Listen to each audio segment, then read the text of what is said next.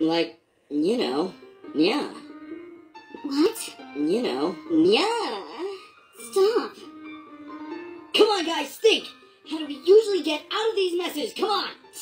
We just create a bigger mess that cancels the first one out. What would you say is your worst flaw? I'm uncooperative. Could you give me an example? No. God, you're so annoying. Stop holding my hand then. No, it's it's a good time. And I love you. Oh, Rouge! You can take the emerald whenever you like. I just want your love. Shut up, hedgehog, or I'm gonna kick your ass. You're asexual? That's so cool, dude. I know you like her. Shut up, Amy. I don't like Rouge. I didn't say who. Crap.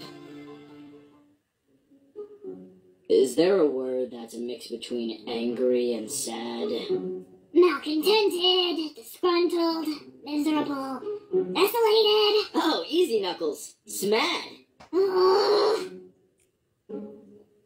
Did you know that kissing reduces stress and anxiety? Uh, okay, Amy?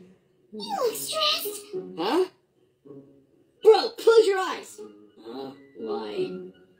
See, bro? Nothing, bro. That's my life without you, bro. I love you, bro. Bro, don't get emotional on me. Wait, you like me for my personality? Yeah, I was surprised too. Do you think I need your power? Why does Rouge call you baby girl? Let's stop talking for a little while, okay?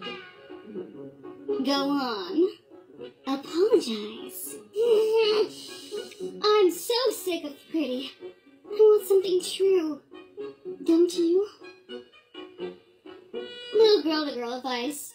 If you weren't always trying so hard, you wouldn't be in the way.